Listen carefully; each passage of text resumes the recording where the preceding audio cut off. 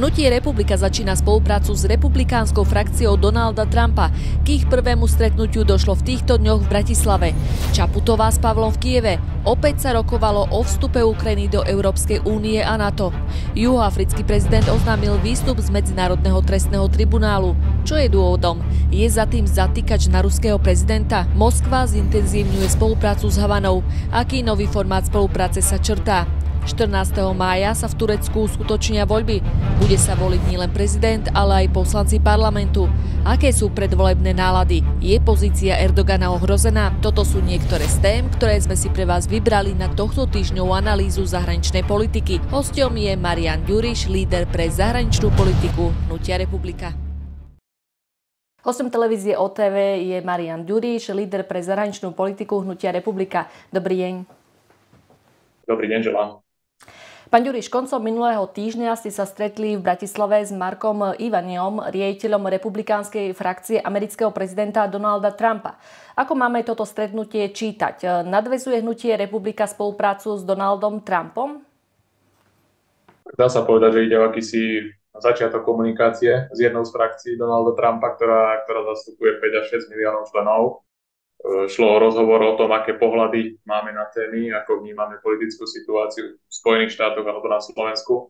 A išlo, išlo zaujímavý rozhovor. Deklaroval som otvorenie naše postoje o tom, ako vnímame bilaterálne vzťahy. Hovorili sme aj o nadmernom vplyve Bieleho domu na Európsku úniu, na Slovensko, e, že zahraničná politika ich vlády v súčasnosti podnecuje napätie, že zmluvu DCA považujeme za zlú, že nákup amerických stíhačiek takisto ktorý nebol dobrý, ale to vybavila, myslím, až tie SNS, hoci boli iné, lepšie stroje pre naše, naše podmienky. E, toto bola časť diskusie, ktorá mohla byť, e, mohla byť kontroverzná, mohli vzniknúť nezhody, ale chcel som, aby americký kolega e, pocitil úprimnosť a otvorenosť, s ktorou chceme pristupovať v diskusii so zástupcami hoci ktorej krajiny.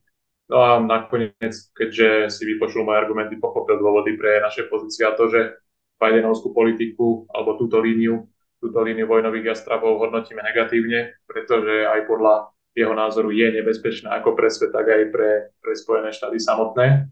No a potom tu boli témy, kde sme sa uh, viac menej zhodli a našli sme spoločnú reč. No a to bola obrana voči nelegálnej, nelegálnej migrácii. Uh, Spojené štáty majú tento problém s južnou hranicou, pretože Biden túto hranicu na federálnej úrovni nechráni a južné štáty teda, teda musia čeliť tejto výzve. Rovnaký súlad sme našli v obrane konzervatívnych, rodinných, kresťanských, e, národných hodnot a tradícií, že existuje potreba spolupracovať a pôsobiť medzinárodne proti tomuto, proti tomuto elitárstvu alebo globalizmu, nebezpečným ideológiám súčasnosti, ktoré sa takisto tlačia medzinárodne prostredníctvom rôznych organizácií a sorošovských mimovládek, s ktorými majú aj USA e, veľmi rozsiahle negatívne skúsenosti. Takže tam už táto agenda veľmi, e, veľmi intenzívne beží, takže tie skúsenosti je zaujímavé počúvať, aby sme vedeli u nás týmto veciam predísť. Takže určite to dáva zmysel, chceme vyvážene spolupracovať s rovnako zmyšľajúcimi ľuďmi pri ochrane toho zdravého, čo je dobré a správne zachovať. Takisto to dáva logiku z pohľadu, že ako jeden z malých subjektov nielen hovoríme, ale aj realizujeme komunikáciu na všetky svetové strany vo veciach, ktorých sa zhodneme. Uh, a to nie len teda v desiatkách štátov Európy, ale aj inde. No a republika je týmto, týmito partnermi vnímaná ako mladý dynamicky rastúci subjekt, ktorý má perspektívu a rešpektovaný partner pre dialog. S Markom Ivaniom ste teda rokovali o mnohých témach, okrem iného aj o otázke Ukrajiny. E, zhodli ste sa v tejto téme? Má rovnaký postoj ku konfliktu ako republika? V tejto téme som bol rovnako otvorený, pretože je dobre mať jasno, e, kto akú pozíciu zastáva a potom sa aj ľahšie diskutuje. Určite republika nejde cestou ako iné subjekty, ktoré jedno hovoria verejne a druhé pred zahraničným zastúpením. No a v téme e, potreby mieru diplomatického riešenia konfliktu, ktorému tak či onak raz dôjde, sme našli zhodu. Osobne som to ešte rozvinul a súčasný konflikt zasadil aj do kontextu predošlých udalostí, že nastali závažné externé zásahy v zmysle zvrhnutia legitímnej vlády počas Majdanu e, v zmysle financovania tzv. občianskej spoločnosti miliardami dolárov, čo potvrdila vlastne aj Viktoria Nulendová, teda protagonistka tej radikálne štvavej politiky. Tiež ako sa pohrdavo vyjadrovala o Európe, čo sa dialo na Ukrajine od roku 2014, kto tam vládol, aké radikálne skupiny tam boli tolerované, a fungujú tam v určitom e, zmysle až dodnes už kooptované do riadnej armády. To všetko sú známe veci. No a tu americký kolega mal na vec veľmi podobný pohľad, že, že takejto zahraničnej politiky sa musia aj samotné Spojené štáty zbaviť, že sa musia zamerať skôr na domáce veci, na vlastné domáce problémy a že odmieta posielanie zbraní a peňazí do Kieva, ktorého garnitúru e, alebo ktorého garnitúra je aj podľa jeho slov skorumpovaná, nedemokratická.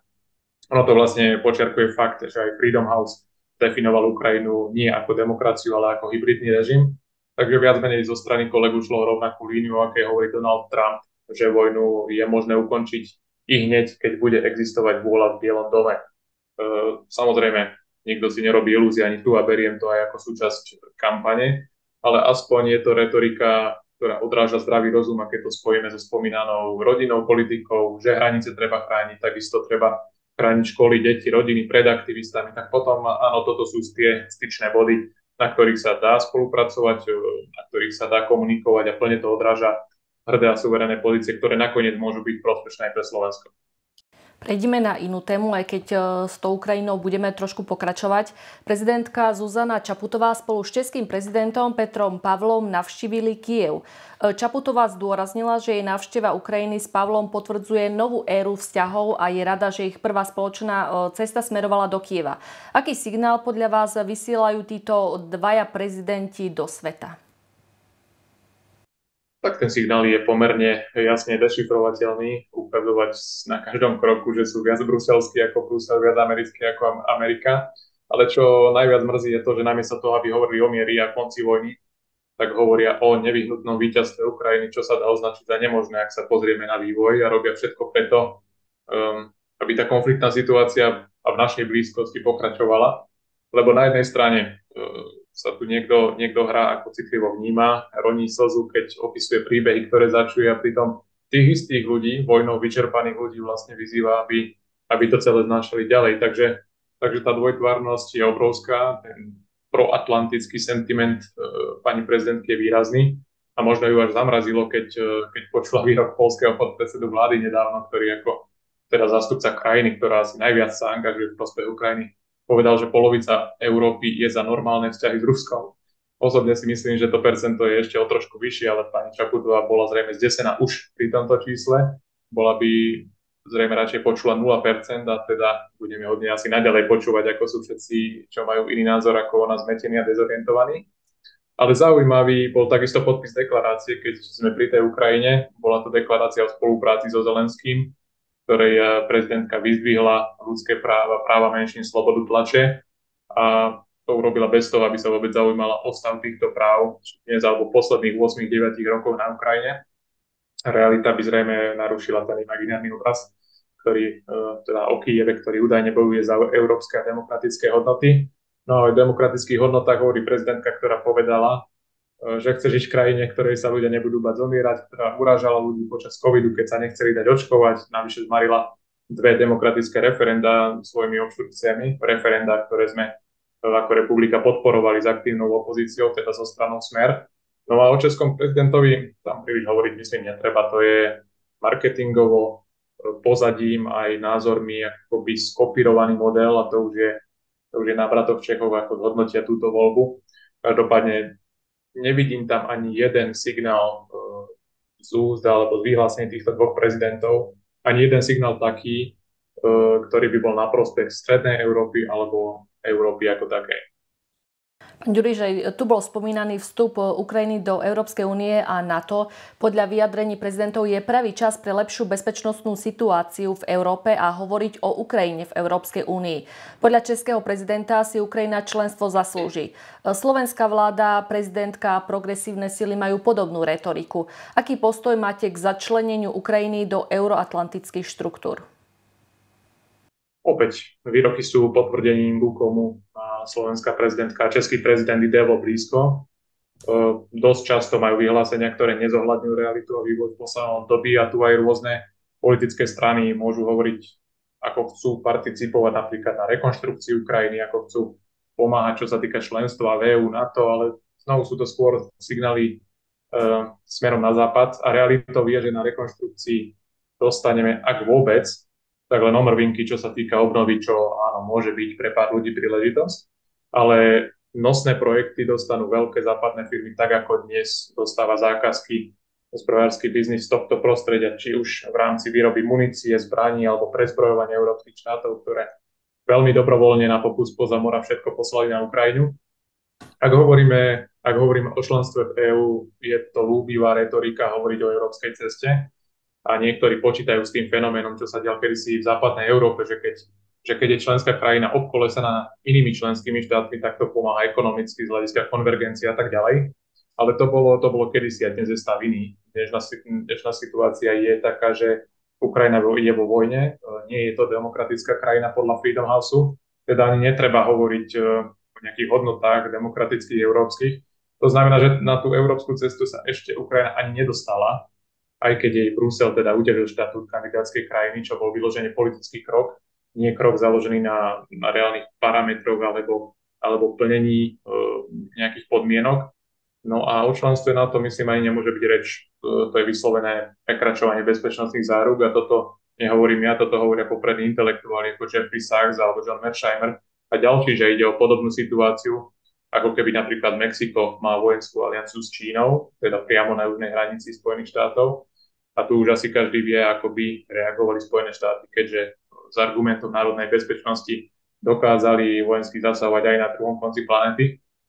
Takže tu by som sluby politikov nebral moc vážne, keďže si nevedia predstaviť, že svet môže byť už o mesiac o rok e, veľmi odlišný ako ten, e, na ktorý sú zvyknutí. Preto dnes a vzhľadom na to všetko, čo som, čo som teraz povedal, nedáva, nedáva to zmysel ťahať k sebe krajinu v rozvrate s vysokou mierou korupcie, ktorá je vo vojne a jej režim je nestabilný, nekontrolovaný, e, z hľadiska kontroly miliard, ktoré tam posielame, e, nemá snahu o zmenu a navyše vypytovaním peňazí od nás, respektíve tým, že naša vláda a komisia ich tak ľahko vážne financuje z nášho, tak to všetko len zhoršuje situáciu u nás, situáciu našich občanov, ktorí všetky tieto náklady platia a znášajú. Takže v momentálnej situácii je to nereálne a na prvom mieste musia byť naši občania, naše firmy, naše hospodárstvo. Mňa by v tejto súvislosti zaujímal váš názor. Aký je váš postoj ako človeka, ktorý sa už niekoľko rokov pohybuje v oblasti európskej legislatívy a Európskeho parlamentu e, k bruselskému akčnému plánu v oblasti vojenskej mobility, ktorý predpokladá nasadenie potenciálne ťažkých a veľkých vojenských síl a vybavenia v rámci Európskej únie, ale aj mimo nej zo strany členských štátov Európskej únie. Európska komisia a vysoký predstaviteľ pre zahraničné veci a bezpečnostnú politiku predstavili tento plán, ktorý sa chystal už niekoľko rokov. E, tým sa nakoniec na projektovej úrovni zaoberá aj plán PESCO a ide, ide o výstup v rámci spoločného dvojstranného vyhlásenia EU NATO. E, terminológia je ako obvykle nastavená ako reakcia na bezpečnostné prostredie, na jeho zmeny, na vojnu, na tzv. posilnenie kapacít Európskej únie pri ochrane občanov a infraštruktúry a tak ďalej. E, to je tá teoretická rovina. Slova, slogany, výrazy, ktoré majú e, vlastne spôsobiť to, aby tento plán ľudia ľahšie prijali. Ale keď sa človek v tomto prostredí pohybuje a vidí, akým e, spôsobom sa tieto návrhy predkladajú, komunikujú a aký je nakoniec účel, tak vidíme, že v praxi ide o snahu, ktorá nie je príliš zameraná na rozvoj civilnej mobility a dopravy, ale ide skôr o, môžeme to nazvať také vojenské plánovanie podľa šablóny aliancie, respektíve Bidenovej administratívy a jej záujmov na európskej pôde. To opäť, ono to opäť vlastne zdôrazňuje skutočnosť, pod akým veľkým vplyvom spoza mora sa nachádza súčasné vedenie Európskej únie a v prospech koho žiaľ rozhoduje.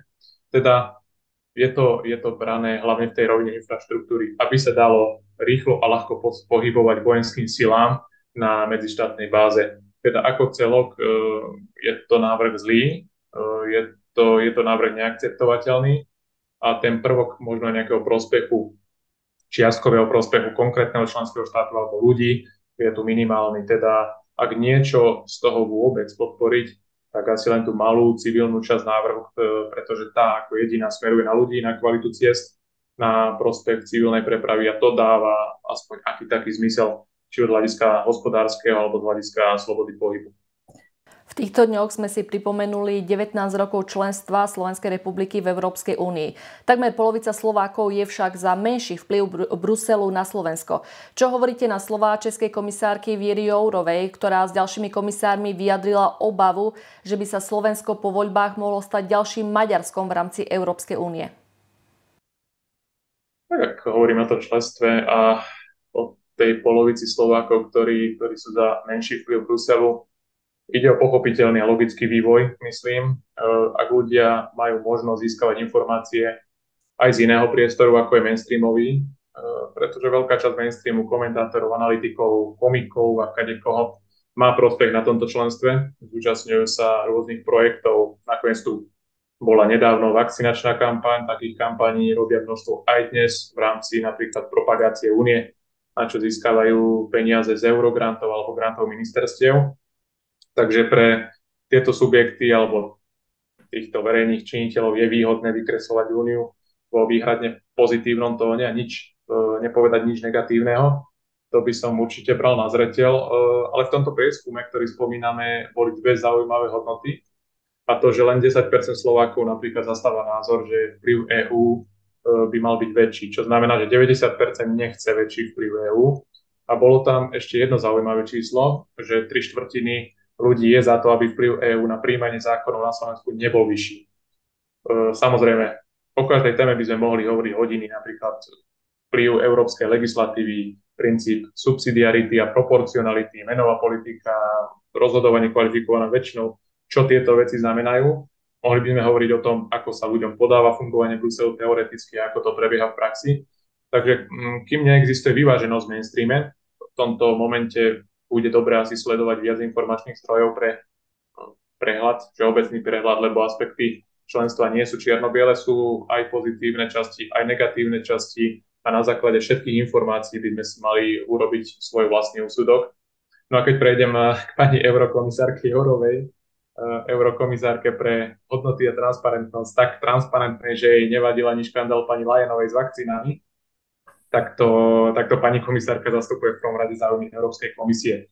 A tým je, tým je povedané všetko v prvom rade by sa mohla pozerať na inštitúciu, pre ktorú pracuje, takisto by sa mohla pozrieť, kde sú demokratické deficity tejto inštitúcie, kde siahajú jej kompetencie a kam už by nemala zachádzať. Ehm, myslím, že na komisárov, ktorých nominovali či už Česká alebo Slovenská vláda v roku 2019 to bolo, nie sme príliš hrdí a čím viac vieme o ich vystúpeniach, tak tá hrdosť je ešte menšia. Takže pani komisárka určite nemusí mať obavy o Slovensko, o tom, ktorou cestou sa Slovensko vyberie. Našťastie o tom nerozhodujú nevolení úradníci s úlohou legitimitou, ale rozhodnú o tom Slovenky a Slováci vo voľbách a pani komisárka to rovnako ako všetci ostatní to bude musieť rešpektovať. Poďme do analýzy diania v zahraničí. Najnovšia správa Washington Post o unikoch z Pentagonu dokazuje, že vplyv USA na južnú pologuľu, krajiny BRICSu, Ázie a Afriky e, je v súčasnosti obmedzený. E, čo to hovorí o očakávaniach proatlantických politikov? Že dokážu prinútiť e, každý štát postaviť sa na ich stranu v zápase proti Rusku a Číne? Áno, táto najnovšia správa dokazuje, že vplyv USA na južnú pologulu má hranice, hoci stále ten vplyv je značný. Môžeme hovoriť o krajinách ako Brazília, kde prišiel nový prezident e, s inou zahraničnou politickou orientáciou. Môžeme hovoriť o Pakistane, kde bol predošlý líder doslova vyhnaný, ohrozovaný e, aj politicky, aj na živote rôznymi externými subjektmi. Takže sú tu páky, ktoré môžu byť použité aj napriek tomu, že tieto krajiny vyvažujú svoju prítomnosť a robia politiku na, na všetky svetové strany. Ehm, na druhej strane je tu mierny pokles amerického vplyvu, najmä v stredoazijských republikách a značný pokles v Indii. Ehm, v Indii, ktorá ukazuje veľmi jasne a zreteľne, aké sú jej záujmy a akou cestou sa bude snažiť e, tieto záujmy naplňať. Ak hovoríme o konkrétne napríklad o tej strednej Ázii, ktorú som spomínal, tak tu ide o snahu vyvinúť tlak na Rusko a Čínu. Existuje aj obava z vojenského sporu, pretože sú tu aj zariadenia, kde je americká technika, americké jednotky Takisto ruský minister Šojgu hovoril na samite, v šanghajskom samite, že Rusko zvyšuje pripravenosť základných v Kyrgyzsku a Tadžikistane. V regióne je tiež možná aktivita teroristických skupín e, s cieľom destabilizovať oblasť a tým opäť vytvoriť určité napätie alebo ohnisko napätia pri ruských hraniciach. No a z týchto vyhlásení je jasné, že obe strany tieto posuny registrujú ono sú tu aj určité ekonomické návrhy zo strany Spojených štátov, ktoré sa snažia zase odkloniť tieto štáty od Číny, čo si je Peking vedomý. No a ak e, povieme ešte niečo k tej Indii, tak tu je zásadná ich neutralita v rusko-americkej dimenzii aj v rámci konfliktu. A India v tomto zmysle veľmi získava, či už, či už na reputácii, e, geopoliticky alebo hospodársky. A navyše um, sa nebojí deklarovať svoje záujmy jasne a otvorene. Otvorene hovorí, že neplánuje rušiť svoje dlhodobé vzťahy s Ruskom, pretože sú pre Indiu výhodné. Teraz byli napríklad prevzalo G20 a udržiava vzťahy z USA v rámci Quadu, teda, teda toho štvorstranného bezpečnostného dialogu, kde aj s Japonskom a Austráliou, takže očakávania tých euroatlantických obhajcov určite budú vysoké vzhľadom na ich prehnaný aktivizmus a takisto aj na tie prostriedky, e, ktorými je tento aktivizmus živený, ale v realite by nemali byť až také vysoké, keď vidíme, aké posuny sa dnes e, vo svete dejú, vrátane postupnej dedolarizácie, veľkých projektov a spolupráce krajín južnej pologule, ktoré majú značné nerastné bohatstvo a veľmi opatrne obchádzajú americké nároky alebo záujmy v tejto oblasti. Juhoafrický prezident Ramaphosa oznamil rozhodnutie o odstúpení krajiny z Medzinárodného trestného tribunálu e, kvôli, citujem, nespravodlivému zaobchádzaniu s niektorými štátmi. Pripomeňme si, že tribunál vydal zatýkač na ruského prezidenta. Čo to hovorí o pozícii Južnej Afriky v rámci medzinárodných vzťahov a BRICSu? Širší kontext tohto, tejto, tohto trendu alebo faktoru má význam na budúcnosť BRICSu, ale aj pre vznik multipolárneho systému, či už v politickom alebo v finančnom zmysle. Ak spomíname toho teda pána Ramaphosu, juhoafrického prezidenta, tak tu evidujeme tlak na Južnú Afriku. Skutočne povedala do seba isto, že by bolo rozumné, aby jeho štát vystúpil z ICC. Zakrátko však vláda tieto slova dementovala a hovorila, že jeho slova boli zle interpretované, čo skôr vidím e, nie ako neúprimnosť prezidenta, ale skôr ako zásah e, rôznych západných diplomácií, ktoré pochopili, čo všetko by bolo v stávke, ak by sa tak udialo, pretože Juhoafrická republika bude hostiť summit BRICS a ten zatýkač na ruského prezidenta komplikuje jeho fyzickú účasť. Teda ak by Ramaphosa inicioval proces vystúpenia, potom by neboli pochybnosti o bezpečnosti ruského lídra, ak by sa tam objavil. No vzhľadom na tieto zmetočné alebo protichodné správy prichádzajúce z Južnej Afriky existuje dôvod na podozrenie, že by k nejakej provokácii mohlo dôjsť, preto si myslím, že Putinová účasť bude zrejme len virtuálna pre vylúčenie všetkých rizik. Takže momentálne je lopta na, na ihrisku Južnej Afriky, lebo v hre aj reputácia ako partnera BRICS z hľadiska spolahlivosti toho partnerstva. No a zároveň existuje aj zjavný záujem odradiť štáty od vstupu do BRICSu, odradiť krajiny ako Irán, Saudská Arábia, Turecko, ďalších 19 krajín ašpirujúcich na členstvo, aby sa rozbili potenciálne väzby a tu asi tušíme, kto na takom niečom záujem má. E, takže toto sú efekty zatýkača od medzinárodného toho tribunálu ICC, ktorý sa síce e, nedá e, reálne vymôcť, keďže Rusko nie je zmluvnou stranou, ale stiažuje medzinárodné návštevy a cesty ruského prezidenta a toto, toto je jadrom aj tohto problému pri Južnej Afrike, ktorá sa samozrejme bude musieť vysporiadať s nátlakovou kampaňou v pozadí a to je len, len na vláde, na lídroch diplomácii, či tomu podľahne alebo tomu dokáže odolať. Iránsky prezident Ebrahim Raisi rokoval s iráckým kolegom. Stretnutie lídrov zdôrazňuje úsilie o posilnenie diplomatických a bezpečnostných väzieb. Okrem toho iránsky prezident vyjadril nesúhlas s prístupom Spojených štátov amerických voči krajinám v regióne a odsúdil ich prítomnosť na Blízkom východe. Čo sa v tejto oblasti momentálne deje? Toto stretnutie v iránskom, v iránskom hlavnom meste v Teheráne je ďalší dôkaz o tvorbe solidnejšej aliancie na Blízkom východe e, po zložitých vzťahoch ako dôsledku konfliktu z 80. rokov ohľadne vodných zdrojov. Dnešní lídry Iraku a Iránu hovoria o spolupráci a to hlavne teda na ekonomickej úrovni. E, aj keď sa za posledné roky bilaterálny vzťah markantne zlepšil, teda najmä v oblasti využívania vodných zdrojov, ťažby ropy a plynu, e, západné sankcie sú veľmi vplyvné. Západné sankcie voči Iránu dostávajú ich bilaterálne dohody často na podmrazu do potreby obchádzať ten sankčný systém a dá sa povedať, že aj rôznymi, povedzme, že zvláštnymi platobnými kanálmi.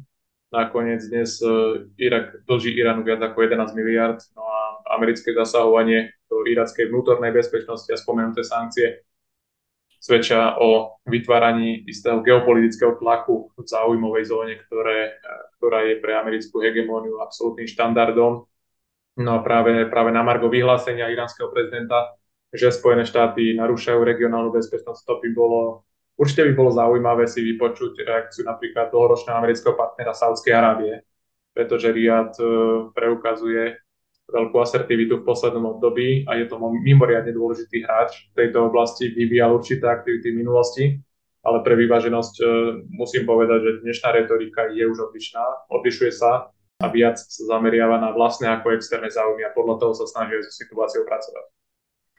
Moskva zintenzívňuje spoluprácu s Havanou, ktorú navštívil predseda štátnej dumy Volodín. Stretol sa s kubánskym prezidentom, s ktorým chcú, chcú dosiahnuť nový formát spolupráce, ktorý bude mať vplyv na parlamentné, hospodárske a finančné vzťahy. Analytik Magomed Kodzojev tvrdí, že Kuba môže slúžiť ako nejaký ruský odrazový mostík pre vplyv v Latinskej Amerike. Aký je váš názor a ako sa pozeráte na kooperáciu Moskvy a Havany? Áno, bolo tu teda medziparlamentné stretnutie, obaja, obaja zastupcovia rokovali o spolupráci na parlamentnej úrovni, ale takisto aj na úrovni hospodárskej a politickej. Tieto rokovania je však potrebné vnímať nielen v širšom historickom kontexte, spomeňme si na karibskú krízu, ale, ale aj vo svetle súčasného diania na Ukrajine. Významná bola v tejto súvislosti aj nedávna cesta ministra Lavrova po krajinách Latinskej Ameriky, o ktorej sme sa rozprávali nedávno ale základy vzťahov boli položené už v 60. rokoch minulého storočia, v náročnom období pre Kubu aj tedajší sovietský zväz. Kubanský zástupca nakoniec v súčasnom období vyjadril podporu Rusku a odsúdil sankcie, obvinil vedenie USA z podnecovania konfliktu a dodal, že tieto americké orgány sa snažia prostredníctvom aj mediálneho tlaku zvaliť vinu za krízu na Moskvu. Nakoniec kubánska vláda aj vyzvala Spojené štáty na to, aby v rámci toho úsilia o diplomatické riešenie reagovali na žiadosti o bezpečnostné záruky a nemanipulovali s medzinárodným spoločenstvom, nemanipulovali s informačným prostredím a neposúvali hranice na to, čo podľa teda kubánskej vlády ohrozuje bezpečnosť jej spojenca. Na tých ruských návštev na Kube bolo určite viac v poslednom období, takisto ako aj vo Venezuele alebo na území Nikaraguy, ktoré sú tie postoje ku konfliktu podobné. E, pre dokreslenie situácie Washington uvalil na Kubu už pred, myslím, 60 rokmi hospodárske embargo a to trvá doteraz. Bielý dom tieto sankcie počas pandémie dokonca rozšíril, za čo si od Havany vyslúžil e, obvinenia z krutosti a naopak Moskva v tomto čase poslala na Kubu zdravotnícke vybavenia a potraviny, čo súvisí aj s jej geopolitickými záujmami v tejto oblasti vrátane úvah o základniach, čo nedávno naznačil šéf ruských námorných síl. No a nielen na Kube, ale aj je taká možnosť vo Vietname, možno na ostrove Seychelles, čím by sa v prípade úspechu vlastne zoštvornásobil počet námorných základní Ruska v zahraničí, lebo dnes, myslím, funguje len ruská základňa v Sírskom Tartuse. Ale všeobecne, aby som to zhrnul, rusko-kubánske vzťahy sú nadštandardné, sú hlboké a môžu byť pre Spojené štáty doslova neriešiteľný problém. A nielen čo sa týka Strednej Ameriky, ale aj celej Latinskej Ameriky. Ono pripomína to výrok aj pána Chruščova ešte v časoch karibskej krízy, že vložil Ješka Američanom do nohavíc, no a dnes pri náklone latinskoamerických štátov fixu a multipolárnemu vnímaniu sveta to platí dnes rovnako, možno, možno ešte aj viac. V Turecku sa tisíce ľudí zúčastnili na mítingu Kemala Kilic Daroglua. Prezidentský kandidát zjednotenej e, opozície prislúbil, že bude riešiť nezamestnanosť a kritizoval prezidenta Erdogana. Pripomeňme si, že v Turecku sa voľby e, uskutočnia 14. maja. Bude zvolený nielen prezident, ale aj 600 poslancov e, parlamentu. Do volieb už máme iba zo pár dní. Aké sú predvolebné nálady v Turecku? Turecku je pred voľbami napätá atmosféra, vyzerá to na dve kolá opozičný blok a jeho kandidát sa veľmi tesne priblížil k súčasnému prezidentovi Erdoganovi a má šancu uspieť. E, je to zároveň určitý súboj generácií. Kategória 50 plus je skôr za kontinuitu a stabilitu.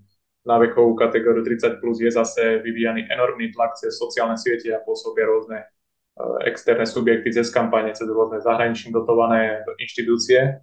Ale čo je dôležité dodať, tak v súvislosti s vojnou na Ukrajine pozícia Turecka silnila alebo silnie. A to sa príliš nepáči súčasnej americkej vláde a prezidentovi Bidenovi, lebo Turecko by tak mohlo byť prípadným sprostredkovateľom e, mieru medzi Ruskom a Ukrajinou, o čo sa nakoniec snažilo už na jar 2022, ale to stopla e, určitá anglosaská línia. No a zmenou tureckého prezidenta, pokiaľ by k tomu došlo, by si práve tieto sily polepšili a, a nie len tu, ale aj čo sa týka napríklad pozície v Sýrii a v Iráne, pretože v tejto otázke Erdoğan nepúšťal americký vplyv takmer k ničomu. Takisto významným momentom budú, bude otázka migračná a otázka migrantov, ktorých v prípade zmeny už bude riadiť Západ a peniaze v projektoch nebudú už kontrolované Turkami, ako doteraz ale Bruselom a Washingtonom. Takže toto je aspekt, ktorý môže zapôsobiť aj na nás. Ale na záver, aby som to nejakým spôsobom zhrnul a dodal by som ešte jednu vec, pretože tu je veľmi zaujímavé sledovať trendy v rámci spoločenských nálad. Uh, oni mali určitú stabilitu v minulom období, bola tu stabilná podpora pre súčasného prezidenta Erdogana, ale všetko sa zmenilo zemetrasením, ku ktorému došlo práve v tomto priestore a stalo sa takým bodom zlomu, kedy, kedy začala podpora kolísať a práve z tohto, z tohto pádu popularity, že dnes je tá situácia asi 50 na 50, môže ťažiť Západ, uh, lebo turecký postoj k Rusku, postoj k Spojeným štátom, by sa mohol s výmenou vedenia zmeniť. Takže asi toľko z mojej strany k hlavnému obratu v číslach popularity došlo po zemetrasení a dnes je situácia 50 na 50.